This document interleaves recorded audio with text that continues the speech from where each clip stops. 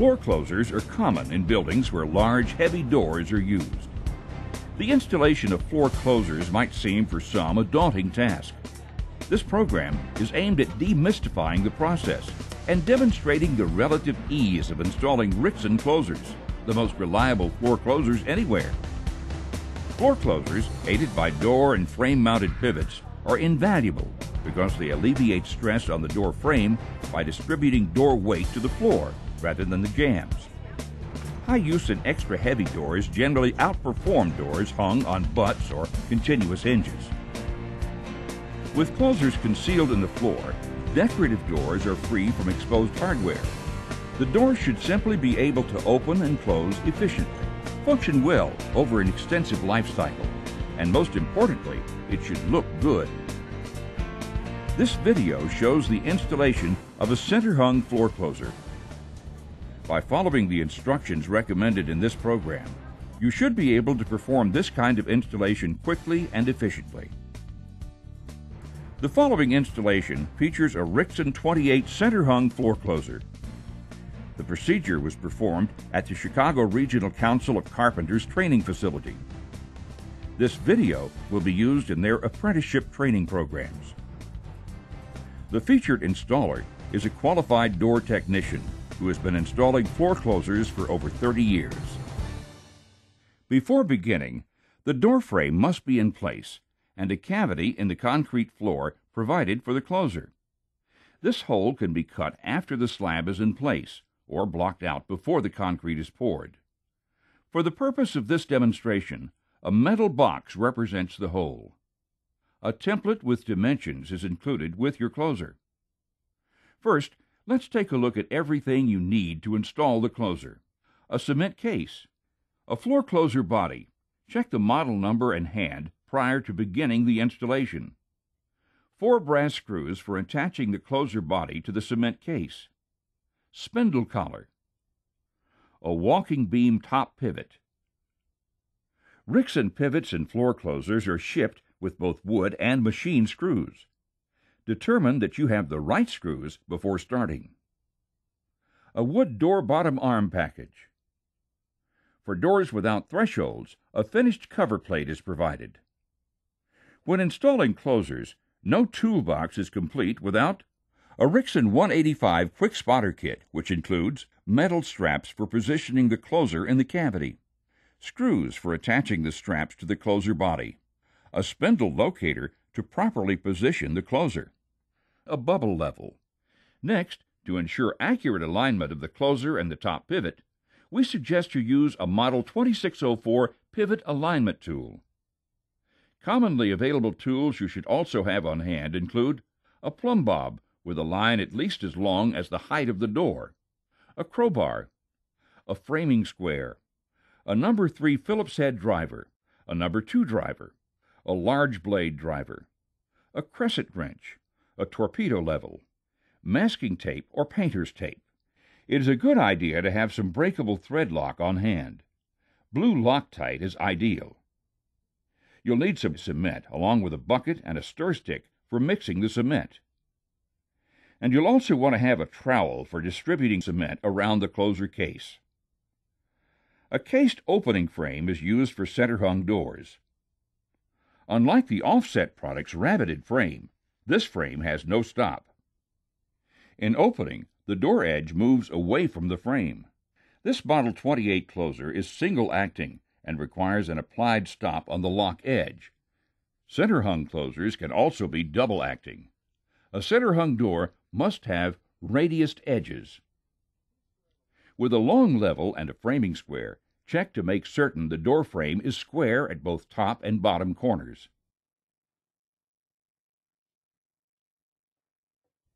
Install the jamb portion of the top pivot into the header.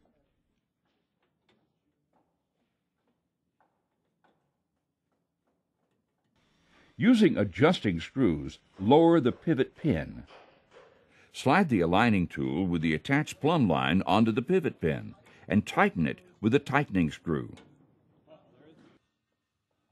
Insert the closer into the cement case and secure it tightly with the supplied screws.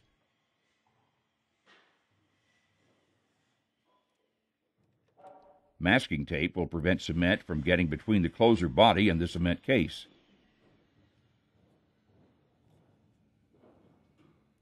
Attach the metal straps to the top of the closer with screws.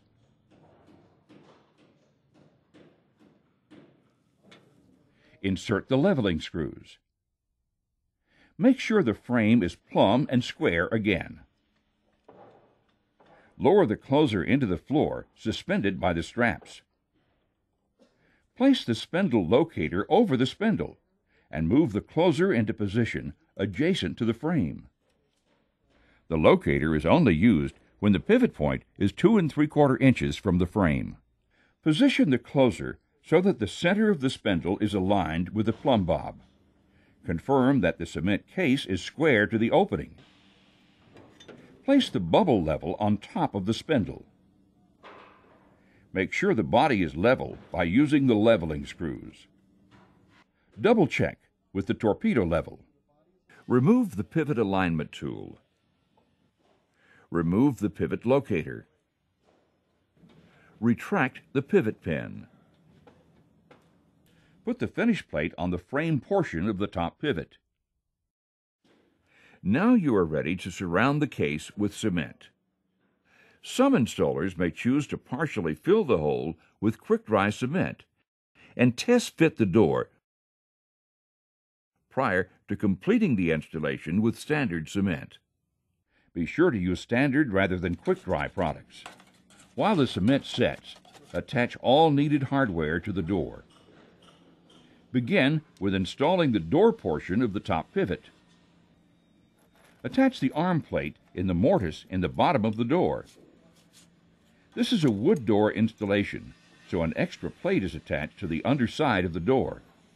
This protects the veneer. On metal doors, this plate is not needed. Install cover plate. Install spindle collar. Lightly turn the closing and latch valves all the way clockwise. Do not over-tighten. Attach the bottom arm to the closer and secure with the spindle screw. Turn the arm to approximately 30 degrees. Bank the door slightly and set it on the closer arm. Align the door and frame portions of the top pivot. Open the door slightly to gain access to the adjusting screw and turn it clockwise to bring the pivot pin down into the door portion of the top pivot. This closer comes with centering screws in the face of the door. Insert one on each side of the door. If this was a double acting door, the screws would help center the door in the opening. Prop the door open at 90 degrees. Tighten the arm locking screw. This screw also allows you to move the door laterally towards the lock side of the frame. Back off the latch and closing speed valves.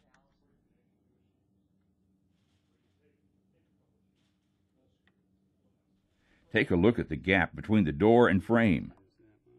The gap should never be more than an eighth of an inch.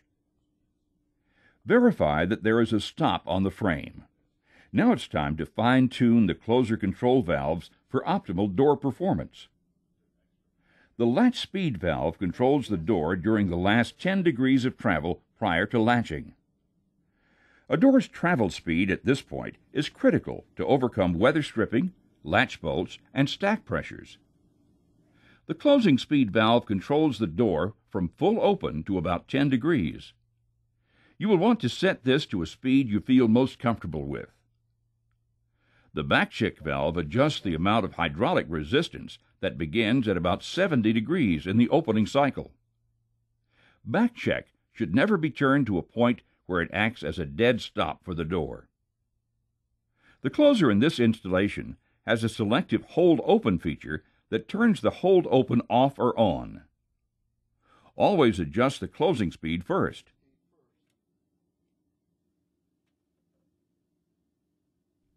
Next, set the latch speed.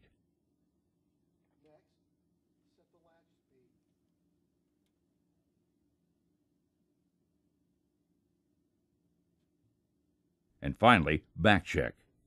Slight adjustments will generally do the trick.